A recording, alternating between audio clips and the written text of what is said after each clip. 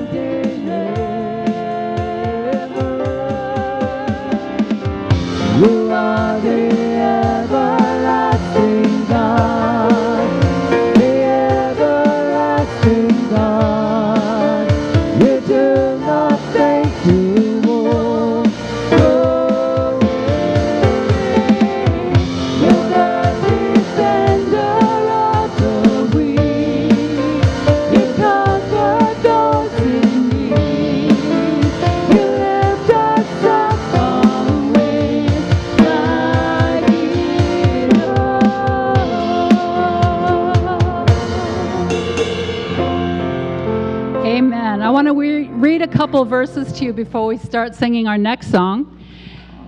I'm reading from Ephesians chapter 1.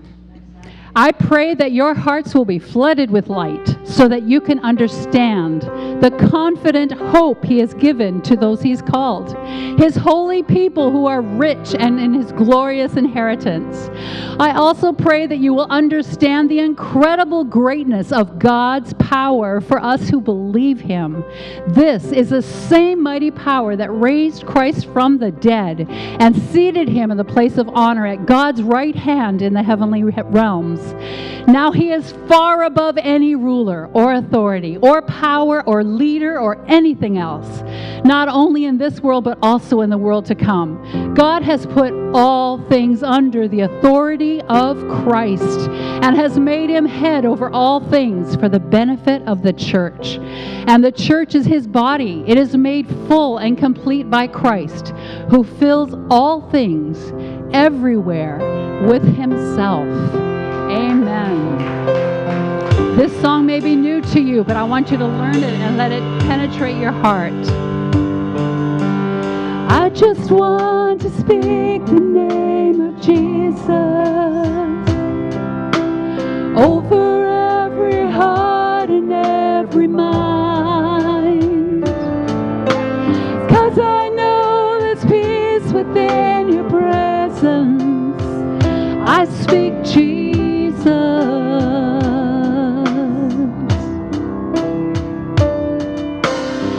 just want to speak the name of Jesus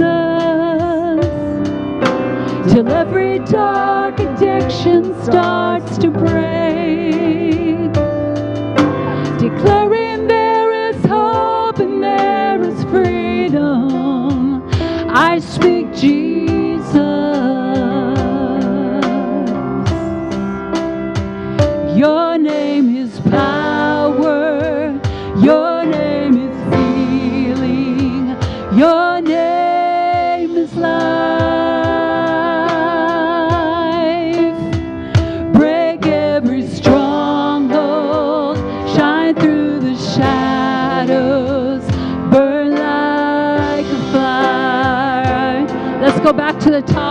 again. I want to speak the name of Jesus. I just want to speak the name of Jesus over every heart and every mind. Cause I know there's peace within your presence. I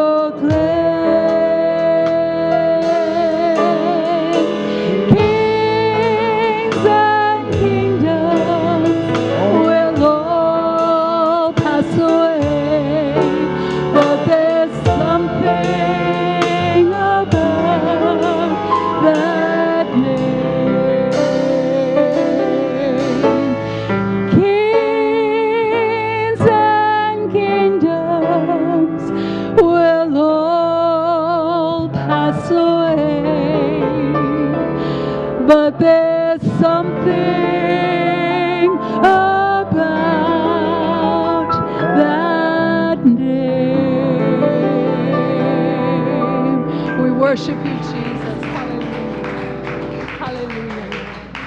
We give you thanks and praise, of God. Hallelujah.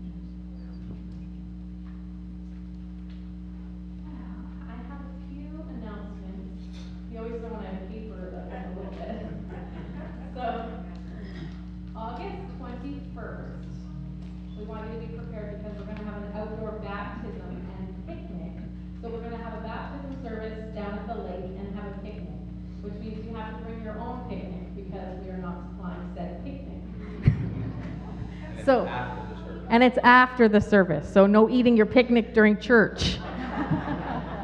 Sorry. Okay, only kids get to eat snacks during church.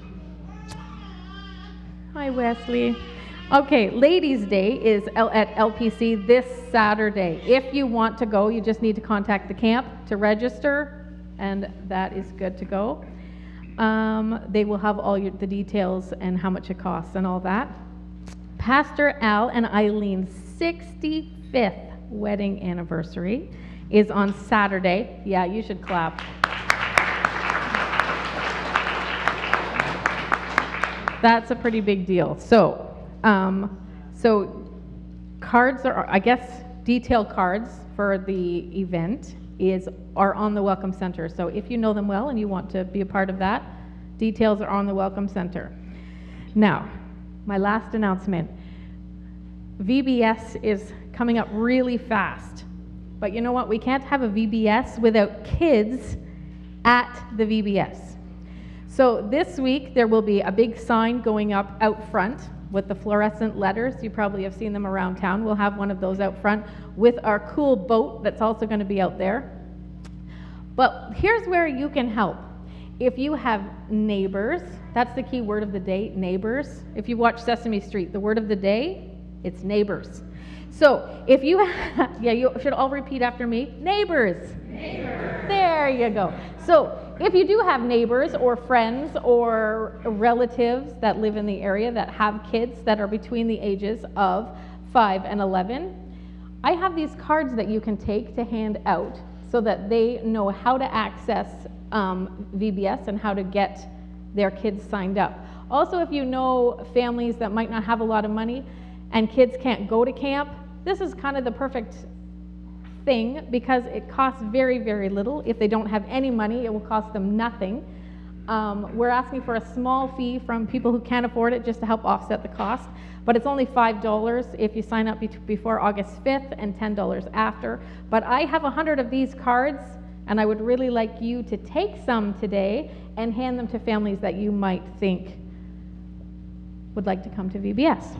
Okay, now, on that note, all the kids, I would like you to come up and keep me company for a few minutes, if you don't mind. Come on, come on, come on. Don't be shy. I don't bite, I promise.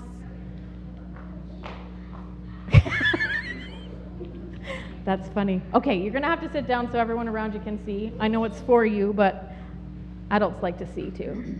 Come on up. Don't be shy. Don't be shy. Is everybody here? You can bring your parents if you're too shy to come. Okay. All right. I'm going to tell you kind of a cool story this morning. And we are not going to light the church on fire while we do it. okay, so we all know disclaimer that we don't play with fire, right? No, correct. All right. So, but for today's lesson, only me. okay. Okay. shh. Okay. Shh, shh, shh. Okay, are you ready? Here we go. Okay, so these, we're going to pretend that these lighters, these are people. So one is one person and one is another person. And they are, the word of the day is? Neighbors. So they are neighbors. Now, one of these neighbors, it's, I'm going to have to move the microphone with me so you can hear. Okay, one of these neighbors is going through a really hard time. They're getting bullied at school. That's no fun. They fell off their bike and their bike broke, and now they don't have a bike anymore, and that's very sad. But they might win a new one at VBS. But they could. If they came to VBS and learned their verses, they could win a new one. Plug. We're terrible. Okay. Now, they their mom is very sick, so she can't make dinner and she can't do the normal things, so she is sick, and it's not very fun. Um, and they're just really, really sad. Do you know what happens when you're really, really sad and you're going through hard times? You do cry. But you know what else? What happens is your light doesn't turn on anymore because you're sad and you don't have it to give. But you know what? When another neighbor comes along and they bring a meal, they bring a meal, or they just sit with them while they cry, because sometimes you just need someone to cry with you, or they're just supportive. They share their bike with the person that doesn't have one, because that's a really nice thing to do. And you know what then happens? Is that they help light the other person's light. Did you know that that's like sharing the love of Jesus with other people in practical ways?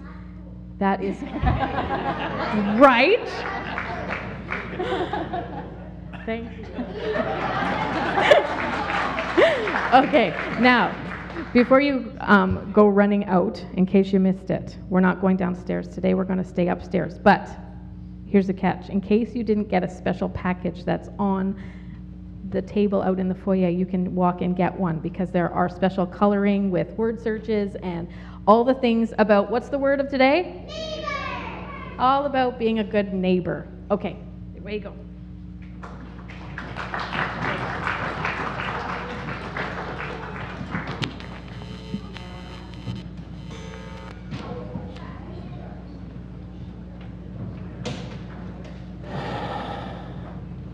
Thank you for not burning the church down. I think.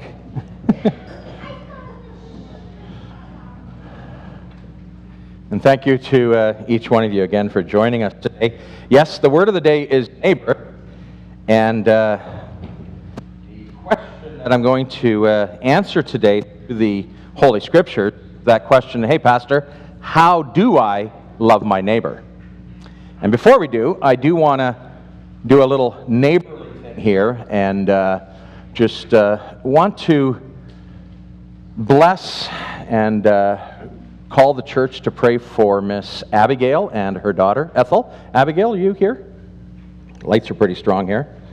Right at, would you stand? She's right at the back. I'm going to ask you to stand just for a second. Abigail and Ethel are going to be leaving us. They've been with us for a while, but uh, Abigail has decided to go back to school again. And so they're moving to Kingston so she can do her nursing studies.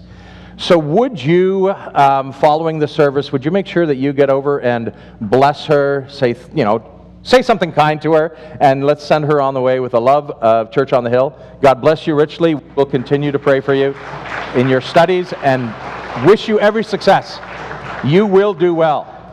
you've got the heart of a nurse. Uh, that's Christ working through you, right? Caring for others, and uh, that's awesome. So, all right.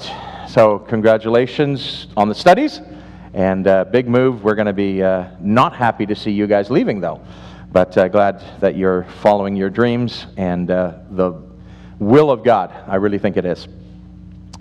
Let's turn to the Gospel of John, chapter 13 here. John chapter 13, answering the question, Hey, Pastor, how do I love my neighbor?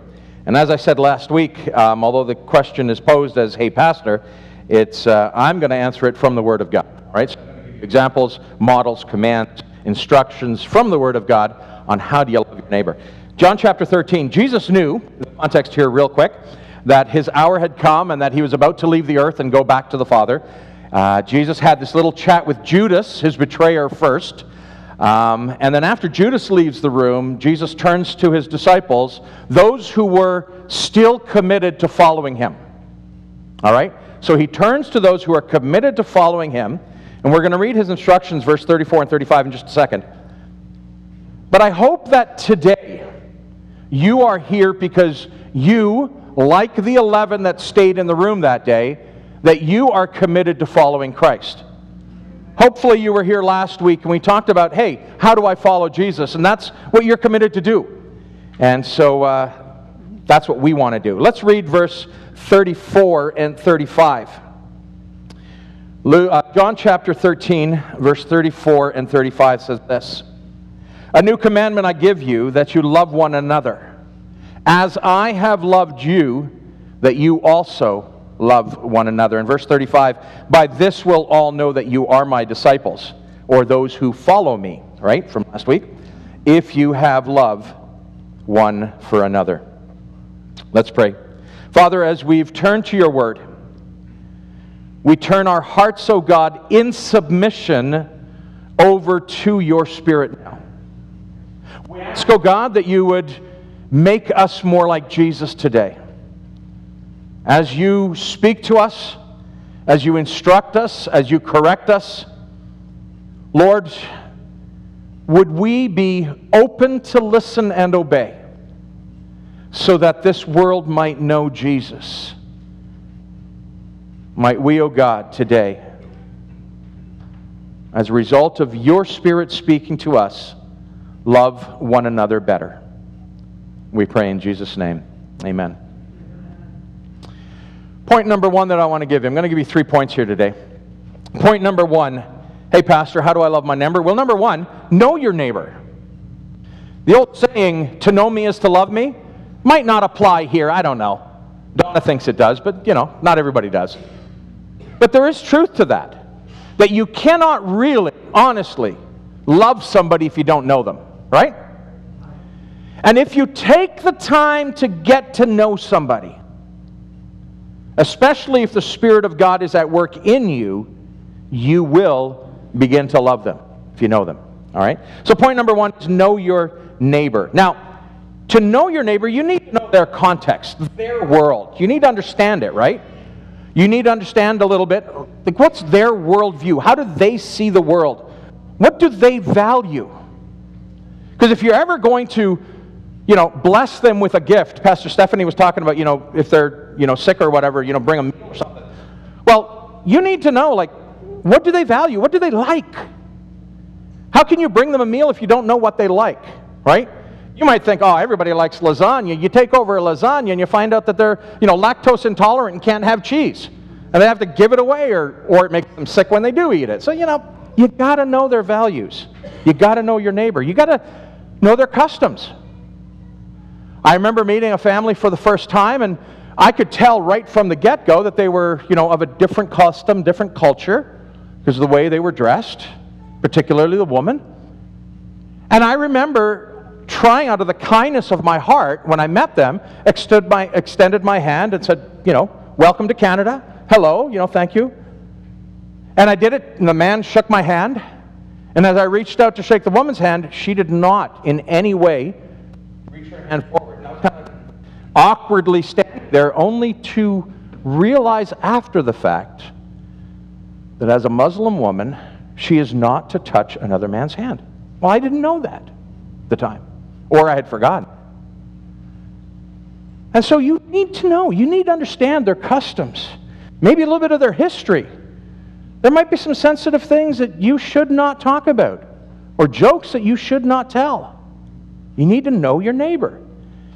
Be great to know their family. Man, if anybody wants to come up to me and make friends with me, all you need to do is start coming up to me and start talking to me about the pictures you saw on Facebook of my grandson. You talk about my grandson, I love you. Period. Right? Every grandparent knows that. It helps to know your neighbor. If you're going to love them, if you're going to extend a hand of love towards them, it helps to know your neighbor. Now, Pastor Mark, you said you were going to be talking about the Bible and examples. Well, here we go. One of the great leaders in the scriptures who uh, sets a really fine example over and over again is the Apostle Paul.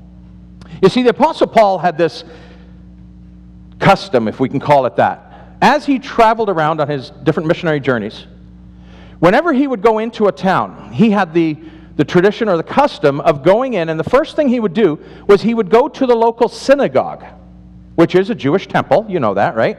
He would go into the synagogue and he would begin to, scripture tells us this a number of times, he would begin to, he would go in and begin to talk to them using the Hebrew scriptures. We're talking about the Torah, the prophets, all right? He would talk using those scriptures and he would show them that Jesus is the Messiah. But he would always go in talking to them about their context. He would go in talking about the, the Hebrew scriptures. That's where he would start building his bridge with them. Go in, it is written, blah, blah, blah, blah, blah, blah, blah. But I want to show you now that Jesus is the Messiah. He has fulfilled that which was spoken long ago. Right? So he was doing, he knew their context, he knew what was important to them. And it's, I love it. The scripture says, and many turned to Jesus. You have that over and over again, that many, not all, but many turned to Jesus. And then he goes to Athens. And as he goes into Athens, he goes up to this high place in Athens, this Greek open temple park kind of area. If you can imagine a park setting with a whole bunch of these little kind of altars all over the place, maybe made out of marble or granite, um, as would be in Athens. And uh, he goes up to this place called the Areopagus, and he goes up there and he begins to speak about, speak to them, sorry, Acts chapter 17 tells us, he begins to speak to them about their poets, their teachers, and their philosophy. And then he zeroed in. Once he had their attention speaking what they understood and what was their context, he then brought out the fact that in this area was one altar that was dedicated to the unknown God. And he used that opportunity to tell them about the God who he knew, the living God, the God of all creation, the maker of heaven and earth. And he answered the one question they had and that is, who is this unknown God? But he began by speaking to them in their context. It's Acts chapter 17. And we also have this in the New Testament in the Gospels. You remember Matthew, Mark, Luke, and John, the Gospels in the, the New Testament? Matthew, interesting. You read the book of Matthew. He writes to the Jews, right? So he wrote within Jewish context. Everything that Matthew writes he writes from that Jewish context. Mark, on the other hand, the Gospel of Mark, he wrote to the Greeks. And so, if you look at the way Matthew wrote and the way Mark wrote, you even look at the, the choice of words that they used. Matthew keeps going back to the ancient scriptures over and over again, and he uses Old Hebrew words, where Mark actually mixes in a lot of the Greek language and doesn't rely so much on the Hebrew because he's writing to a Greek people. Um, the example, too, look at the Gospel of Matthew. At the very beginning, Matthew starts with what? The genealogy of Jesus. He spends a whole chapter just telling us who is Jesus and verifying that Jesus was a fantastic Jew, came from the line of David. And he proves all of that in the first chapter. He starts out with a genealogy. He goes on to telling us about wise men seeking this great teacher, this great man. He talks continues, he talks about angels announcing. He talks about Joseph and Mary and who they were and where they came from. And them being forced by the authorities to travel for the census. He talks about a virgin birth. Kind of rings about Isaiah, right? He talks about persecution by authority. Talks about them, uh, Joseph and Mary and baby Jesus, fleeing to Egypt. All of these things are things that the Jews would have understood, would have been taught throughout their lifetime that all of this would happen. And Matthew brings all of that back into the story to tell you this is who was prophesied. He has come by using what they knew. Matthew did that throughout all of that. If you open the book of Mark, there's no mention of any of that. Not a bit of Jewish mention in any of it. All right? So don't go to the book of Mark on Christmas Eve and look at the Christmas story. It's not there. Because the Greeks did not have that history of who. Where did you come from? It didn't matter. It's who you were now and who you've made yourself to be. All right? Have you been educated? That's what was important to the Jews, uh, to the to the Greeks. Sorry. In fact, in Jesus' temptation in the desert, over way in Mark chapter 4. So, Matthew, sorry, Matthew chapter 4. Matthew takes three chapters just to tell you how Jesus got onto the scene. And then in Matthew chapter 4, he records the temptation in the desert. You remember that? Jesus' temptation in the desert? And he begins it by telling him, by telling the readers, that the question at hand or the debate that was happening in the desert was if you are the Son of God. That was the question. That was important to the Jews. Because who is the Messiah? Who is the one who was called? Who is the one that is sent? Who is the Son of God that's been prophesied? And then Jesus' responses, and we've talked often about how important it is to use the scriptures to, you know, to, to face your temptations. Well, that's what Jesus did. We know that. Matthew records that. Mark doesn't. All right? But Matthew records that Jesus used the prophets, Jesus used the ancient writings. Matthew also talks about the places that all this temptation takes place. He talks about, and he calls it the holy city. Very Jewish terminology there. He talks about the temple. Very most important place in Jewish thinking, right? In Jewish geography. It's not only the holy city, but man, the temple itself.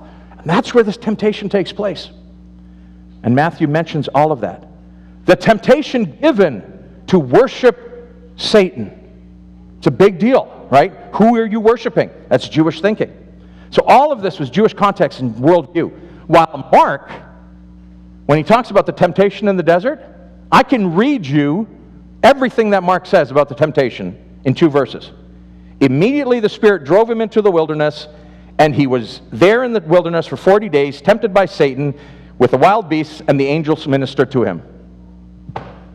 That's it. He says it happened, but that's it. Because why? That wasn't important to the Greeks. All right? Mark's got a story to tell, but they wouldn't have understood all those details, so Mark didn't include any of that. You see, because of the differences between us and our neighbors, whoever they might be, and however deep or far apart or close our differences might be, we need to build bridges if we're going to love our neighbor. You need to be ready to build a bridge if you're going to love your neighbor. We, as long timers, followers of Jesus Christ, as most of us in this room are, you see, we have a spiritual worldview, or should I say, a spirit led worldview. I hope you do. We see things from this lens of what is Jesus doing in the world? That's kind of the lens that we look through, right? When something's happening, it's always okay, what's Jesus doing here? It's a question we're always asking. Many of our friends and neighbors see things very differently, very differently. We need to understand that. We need to recognize that and use those differences. We need to bridge those differences to connect with our neighbors and show them another way. You know, I cannot count how many times I've had the opportunity to be talking to somebody, sharing my point of view with them, my God centered worldview, and just in my conversation with them. And I've had people countless times say, you know, I never thought of it that way. Or I even had people just recently say, I wish I could see it that way. Because they were looking at a situation and looking at it, you know, bleak, dark, hopeless. And I had talked about, we're going to make through it. I'm going to make this storm because Jesus is there. And there's a brighter future ahead. Had them turn to me and say, Man, I wish I could see it that way. And then it's the perfect opportunity to just say, You know what? If you allow God's Spirit to move in and transform you, you can see it that way too. But you got to build that bridge, right? You got to build that bridge. The other challenge that we have in speaking to our neighbors is that longtime followers of Jesus Christ have developed our own language, right? This little Christianese that we speak.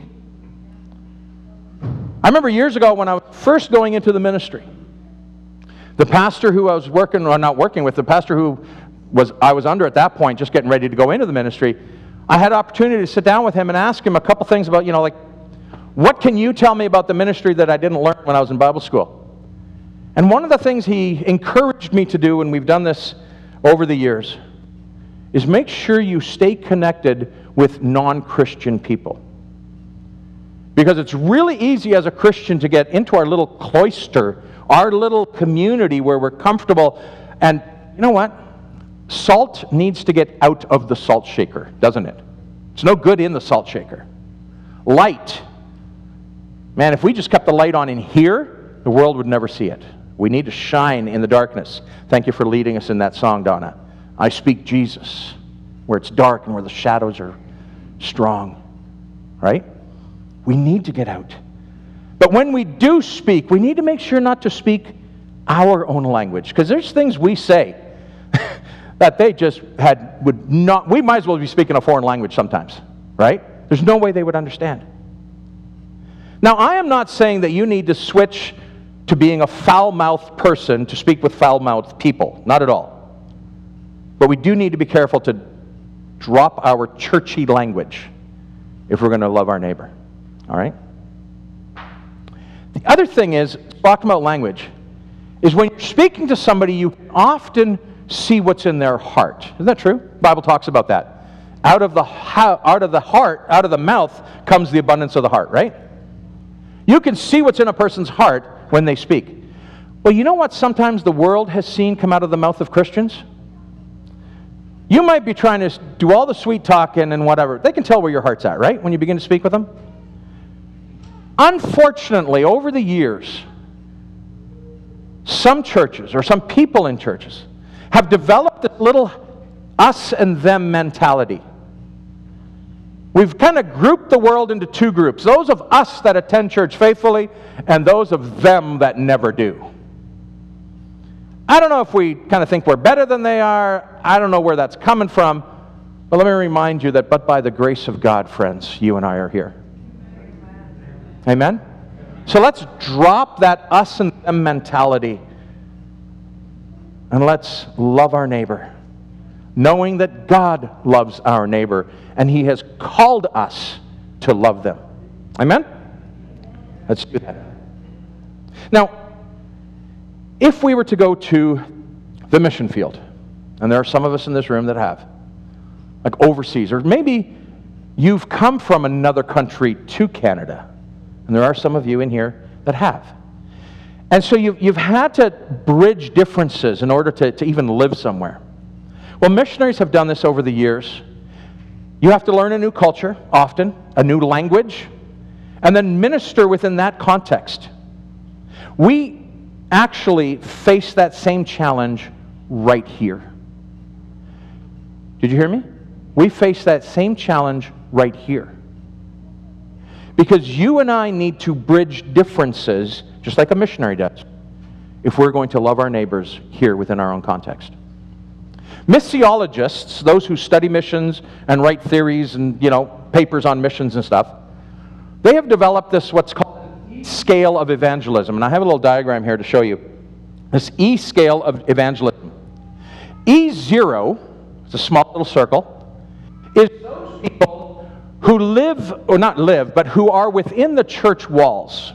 So they speak, they know our churchy language, they know our church culture, our church thinking, they, they understand all of that, but it's people, listen to this, this is crazy thinking, but it's real. People who are regularly in church but are not followers of Jesus Christ.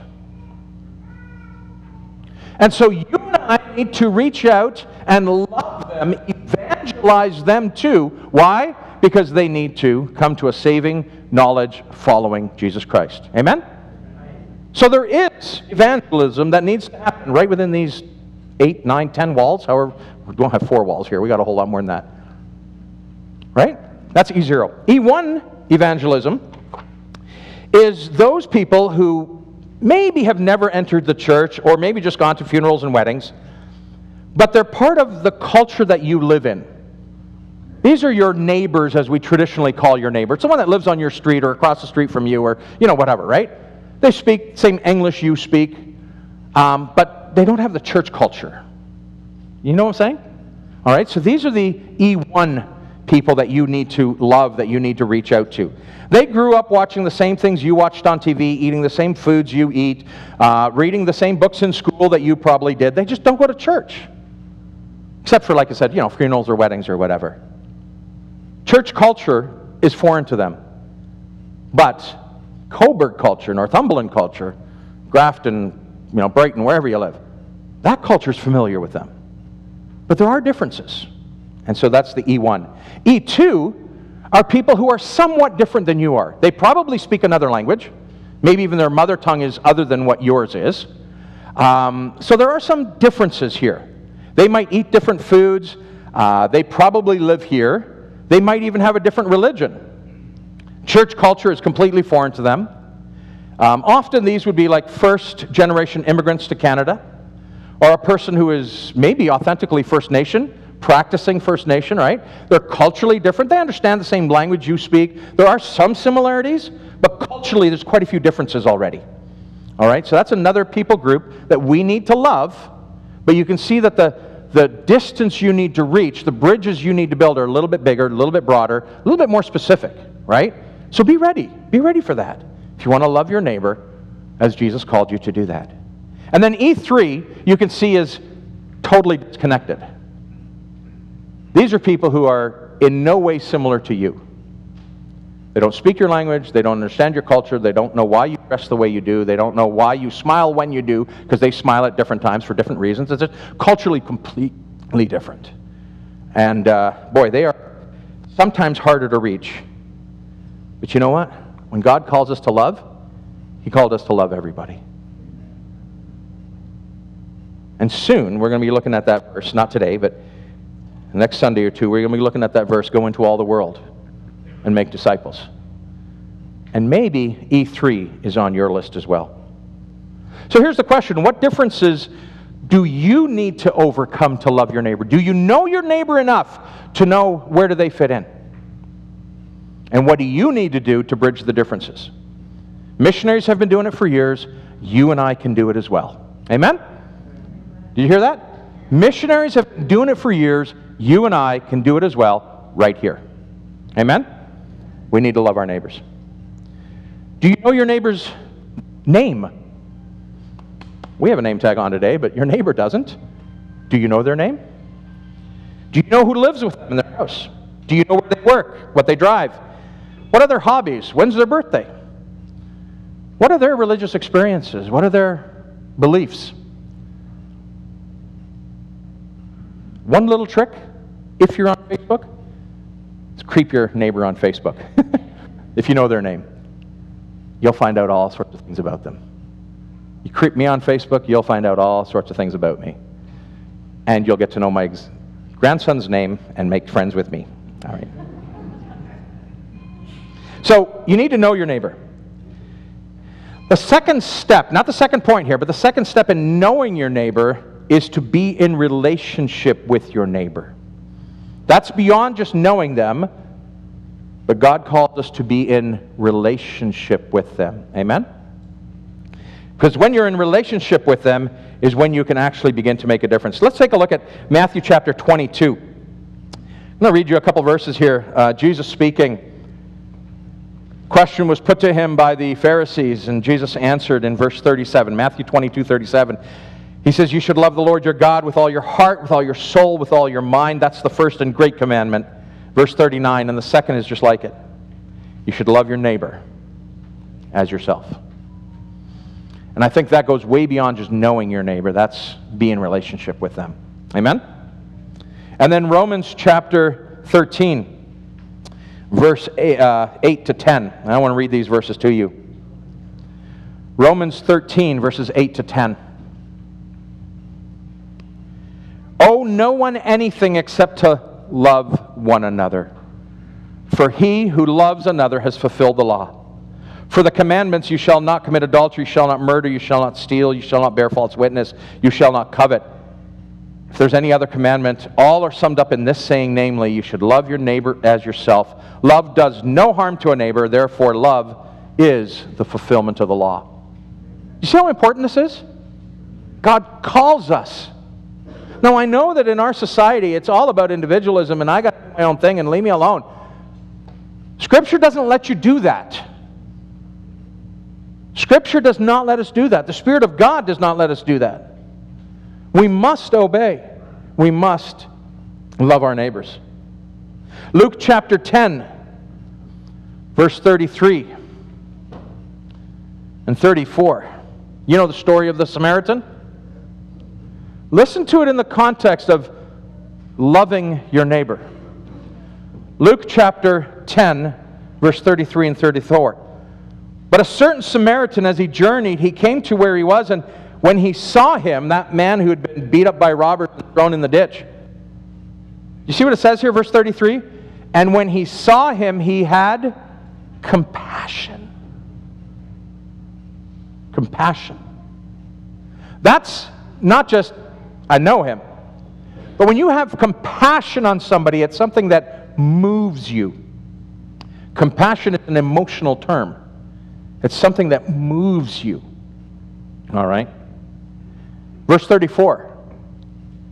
So he went to him, bandaged his wounds, pouring oil on pouring on oil and wine, and he set him on his animal, brought him to the inn, and took care of him. And we know he paid the bill. Man, that's the example set to us. This whole story Jesus is telling is in answer to what's the question? Who's my neighbor?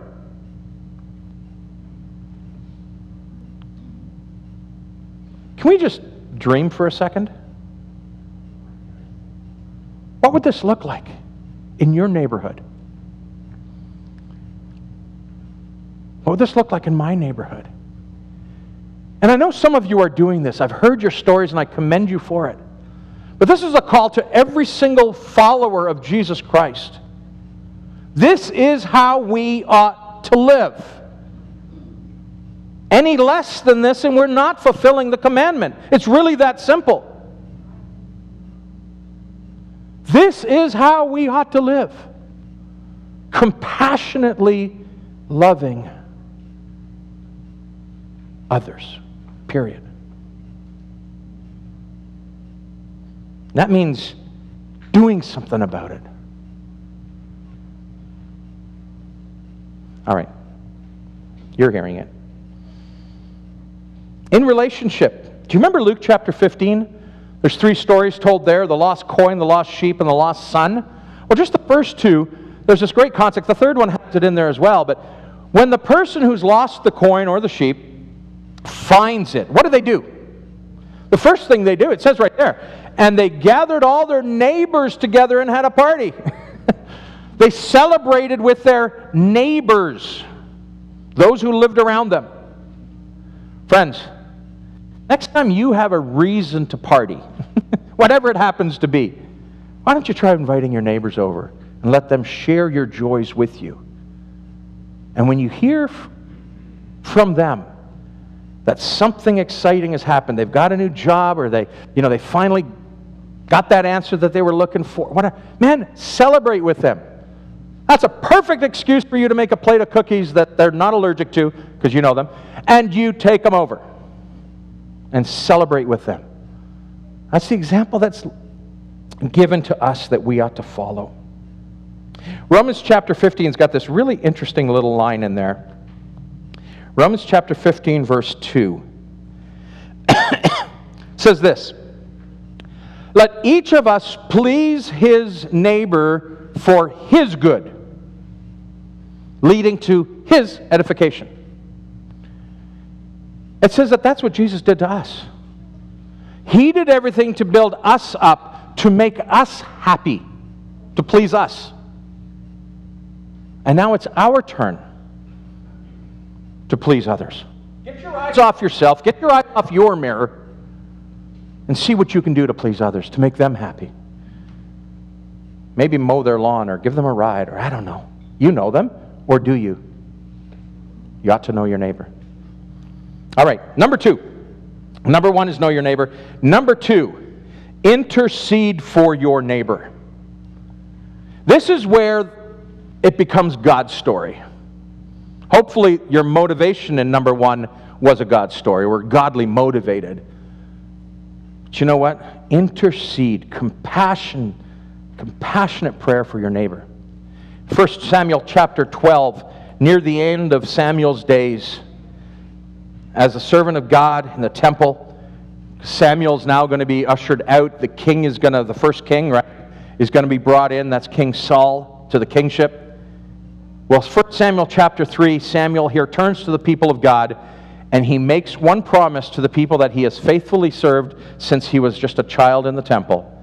And he says this to them Moreover, as for me, verse 23, far be it from me that I should sin against the Lord in ceasing to pray for you, but I will teach you the good and right way.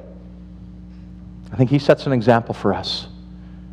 We ought to be ever praying, never ceasing to pray for our neighbors. In the New Testament, along with the saints in Thessalonica, we are called as followers of Jesus Christ, and you know these words well. Rejoice always, pray without ceasing. In everything give thanks, for this is the will of God in Christ Jesus for you. 1 Thessalonians 5:16. And verses that follow that. That's exactly what Samuel did. Paul goes on to say to those in Rome, he says that he was praying for them without ceasing. He says to, Sim, to Timothy in 2 Timothy chapter 1 verse 3, Timothy, I'm praying for you without ceasing. That's quite the commitment. Quite the commitment. But I think that's what we're called to. And I've heard people, and I've, you know, I'll be honest, it's happened to me too. Sometimes after a few minutes of praying, it's like you run out of things to pray for. Just being honest. While I was preparing this a couple weeks ago, it really hit me that, man, I should get a post it pad out and start writing down names of people. And maybe you already do this. I don't know. And whenever I start running out of things to pray for, just open my eyes and start reading my post it pads. Man, there's a lot of people that I know, a lot of people that I should be praying for. I could spend the whole day praying. I know the names of the mechanic and all the staff that work there. I know the names of a couple of the doctors and nurses at the hospital, staff over at the Golden Plough. Who do you know? Who ought you to be praying for? Think about that. Pray without ceasing. Pray for your neighbor without ceasing. And this brings us to a, a not going to say sad announcement, but we want to take the opportunity today to thank Glenn and Hope. Are you here with us today? Yep, there you are. We want to thank Glenn and Hope. We're talking about praying for each other, praying for our neighbors. Glenn and Hope, for a whole lot of years, have faithfully called us to pray for others. Glenn and Hope, you've made it easy for us to pray for others your constant emails, your reminders, your Saturday morning prayers. You've made it easy for us to obey Jesus and pray for others. You have been beautiful instruments in the hands of God among us here at Church on the Hill, and we thank you. And uh, tomorrow is going to be their last day coordinating the prayer ministry. Shortly, they're going to be moving out of the area, and uh, they have to give that up.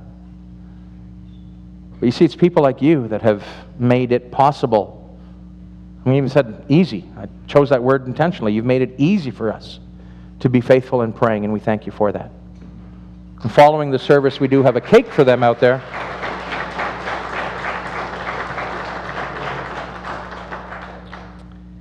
And also want to make a commitment from this church, and I hope everybody can join me in this commitment. And if you do, you can say a big amen at the end of this that we're going to pray for you. All right? There's a video that uh, I hope we have queued up that says, In the name of Jesus, it's God of the impossible. Listen to the songs of this word, if we can get the video going. There we go. Audio. I'll be right back. I speak the name of Jesus over you. In your hurting, in your sorrow, I will ask my God to move. I speak the name, cause it's all that I can do.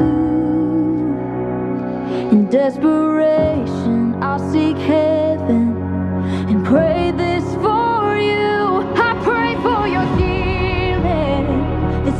circumstances would change.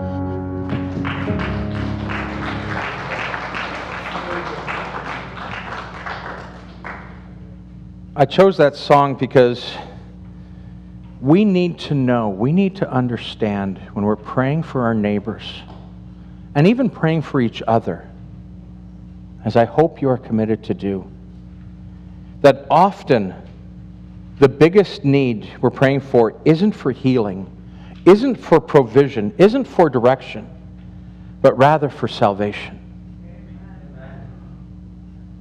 And that's what only Jesus can do. And that's why we need to pray for our neighbors. You see, if they have a healing need, you might be able to take them to the doctor. If they have a provisional need, you might be able to provide a meal.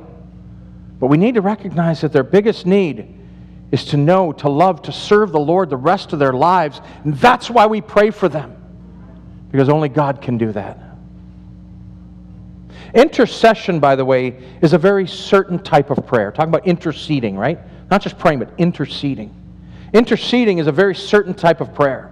Defined this way in the dictionary, a number of different dictionaries I looked at to intervene on behalf of another, to mediate between two people in an attempt to reconcile differences, or to entreat, in, entreaty in favor of another. You see, when you're interceding for someone in prayer, you're bringing their needs, their situation, their darkness, their desires to the Father, who you know so well. And that's why in intercession we often cry for them. We beg on their behalf. We plead the Father for them. Sometimes we even make a deal with God on their behalf. In intercessory prayer, you are at the throne of God because they need Him now. That's intercessory prayer. Jesus shows us this in John chapter 17, where he prays for his disciples. And then he goes on to pray for all believers, including you and me.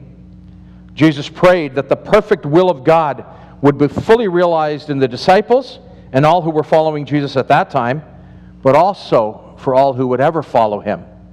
And so that's what we pray. So, how do you love your neighbor? Well, you get to know them, be in relationship with them, and number two, you intercede for them. This brings us to number three, and this is rescue your neighbor. I'm not talking about a lasagna.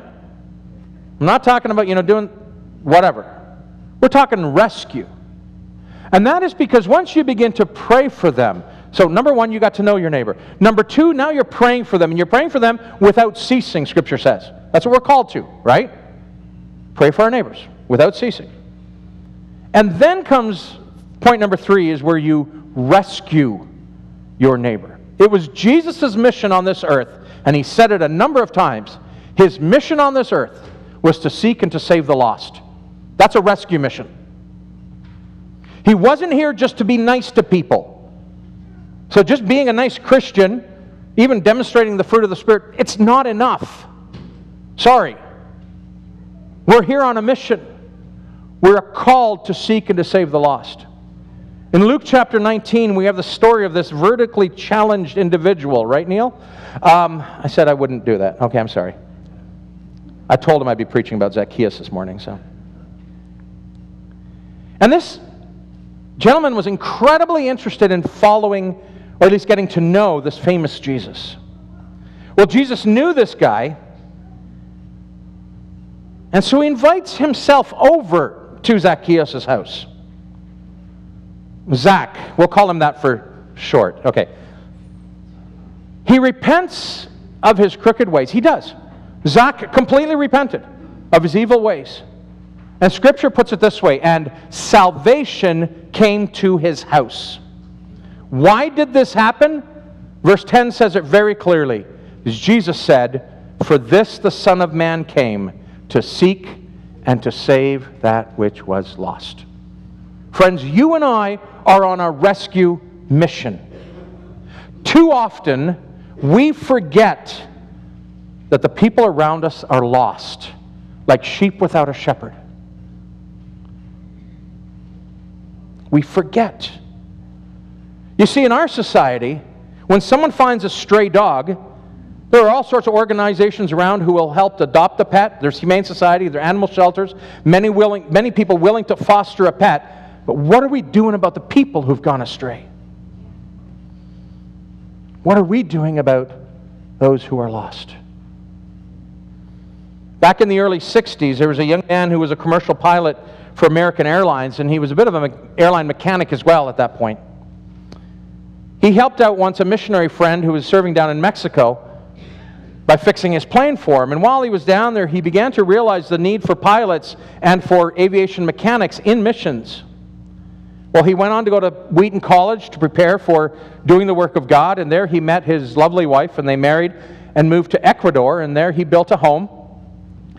And he built a guest house for other missionaries and a radio center, because back in the day they didn't have cell phones, and he built a radio center to serve the missions work in that part of Central America.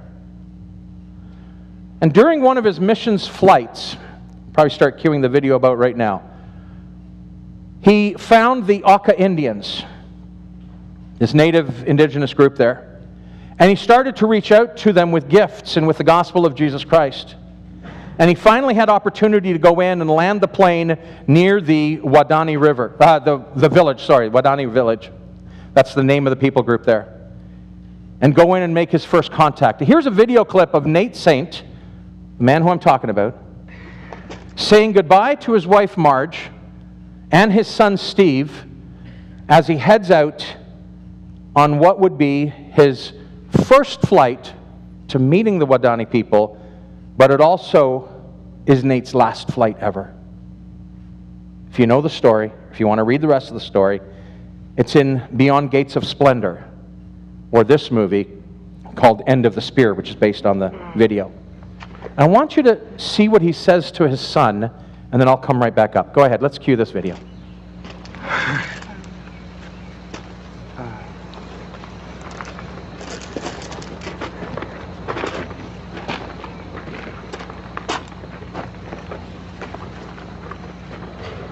Do you know how far away the sun is? 93 million miles.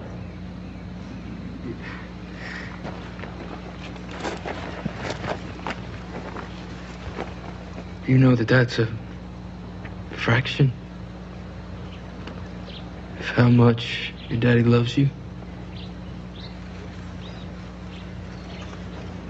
If the Waldani attack, will you defend yourself?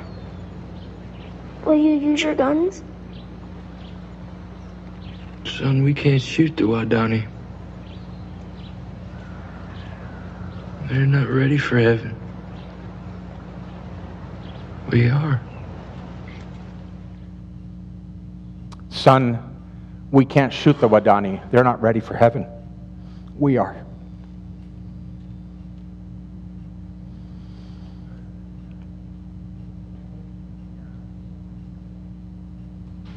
We must go out and love our neighbor at all costs. That was his last flight. They went in, they got on the beach, they met the Wadani, and the Wadani did attack. There was a misunderstanding, they didn't speak their language. And the missionaries were speared to death by the Wadani, gave up their life. And the last things he had said to his son is, They're not ready for heaven, but we are. We need to love our neighbors at all costs. But listen to this, and I want us to catch this. And this is why I, I chose this video clip. You cannot afford to ruin your testimony with your neighbor because they're not ready for heaven. So we need to do everything we can at all costs to love them and to show them the love of the Father. Love them right. Love them genuinely. Love them at all costs. If I may go back to, the, to Jesus and the example he set in Mark chapter 5. Mark chapter 5, Jesus and his disciples go on a mission trip, literally. They went on a mission trip. They go across the lake. They left Jewish territory. They went across the lake to Greek territory, to the Decapolis. And there is one man, listen to the story, Matthew chapter 5, Mark chapter 5, sorry. There's one man there who is lost, who is demon possessed, and Jesus makes the trip across the lake to set him free. It's a rescue mission. So they get in the boat, they meet the guy on the other side of the lake, they cast out the legion of demons into about 2,000 pigs who try to swim but Kids, let me tell you something pigs can't swim. The Bible says so. I know it. I've raised pigs, they can't swim. Okay, there's a whole teaching actually here on spiritual warfare, by the way, about the casting out of the demons and everything else. We're not going to go there today. But Jesus, in the end, he heals the man. Interesting, the Bible says that they clothed the man because demon possessed, he was running around naked. And then they commission him, Jesus sends him out as an evangelist to reach, to share the gospel with those 10 cities in the area there, the Decapolis area. And obediently he goes and proclaim, proclaims in those 10 cities all that Jesus first has done for him.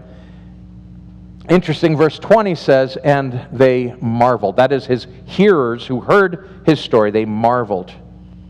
He was naked and he needed clothes. This man was living in the rocks. He needed a proper home. This man was living alone. He needed to, a community. These were some of his needs, but his greatest need, and you need to see this, his greatest need, his greatest need was for freedom from the power of Satan. And that's why Jesus went, to set him free. It was a rescue mission. I need to say this clearly. People who are living without Jesus are not okay. We cannot, I don't want to take this lightly, we cannot just leave them alone.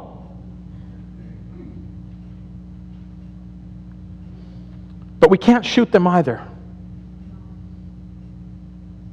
Because they're not ready for heaven. Remember, no one comes to the Father except through me, Jesus said. And if your does, neighbor does not know Jesus Christ as Lord and Savior, and if you know your neighbor, you know if they do or don't. Point number one. If they don't know Jesus, they have a desperate need, and you know the one who can rescue them. Do you love your neighbor? If we love our neighbor, we will do all we can to help their need, whatever that need might be. We'll come alongside them and allow God to bless them through us. Philippians chapter 4 has this very famous verse that a lot of Christians know. And says this And my God shall supply all your need according to his riches and glory by Christ Jesus. You ever heard that before? Yes.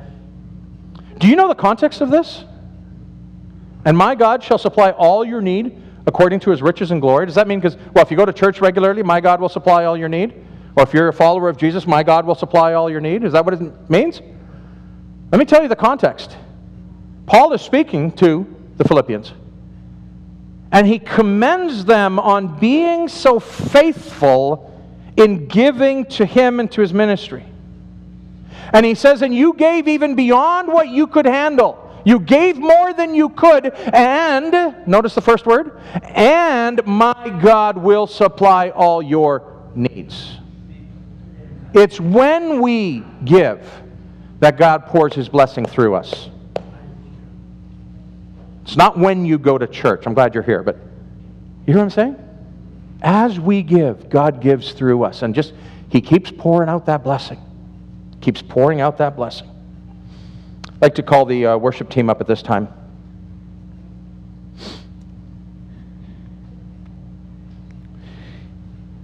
Scripture calls us to give to those in need, lend without asking to get it back.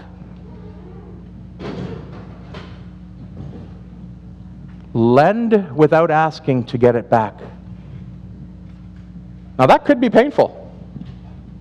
But if God's going to supply all my needs as I give, what am I worried about? Let's be real. What am I worried about? Fight for those who cannot fight for themselves. James chapter 1 verse 27 defines pure religion as this: to visit orphans and widows in their trouble and keep oneself unspotted. That is clean, not one spot from the sins of this world. That's pure religion, caring for the orphans and the widows, and you keep your nose clean. Literally. Well, that's how we love our neighbor. We know our neighbor, we love our neighbor, and we rescue our neighbor. That's how we love them. Amen? I'm going to invite you to stand. We're going to uh, get Donna here and the worship team to lead us in one more song that really fits as a prayer for us. And after this, we're going to be heading out. There's hot dogs to trap you on the way out. I mean, to feed you on the way out. But there's also a cake. And so we're going to ask, uh, once we move the cake, I think we're going to either keep it in the foyer, move it the, out in the outside. I'm not sure what we're doing. But Glenn and Hope, would you stay near the cake, and that way people can give you a hug and speak to you. They're not leaving us yet, but they are, as of tomorrow, submitting the uh, the coordination of the prayer ministry because they're getting ready to leave. But so that you'll still see them around, but would you thank them for helping us to pray for our neighbors? All right, as you go outside, Donna, lead us in our closing song, and after the song, everybody will be dismissed.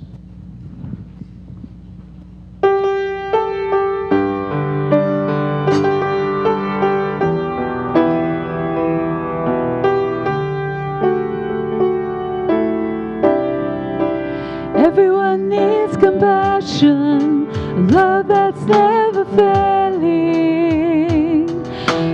Mercy me. Everyone needs forgiveness, the kindness of a Savior, the hope of nations.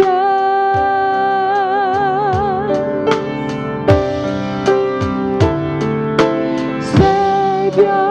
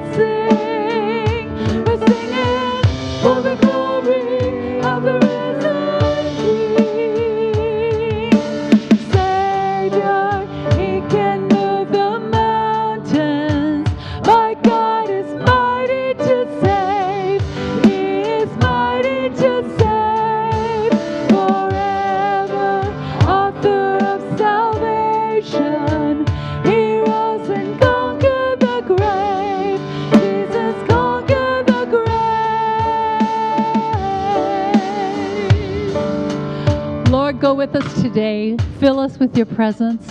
Fill us with your power and your strength. Help us to go and love our neighbor. Show us what we need to do and give us strength to do it. We pray this in Jesus' mighty name. Amen. Amen. God bless you.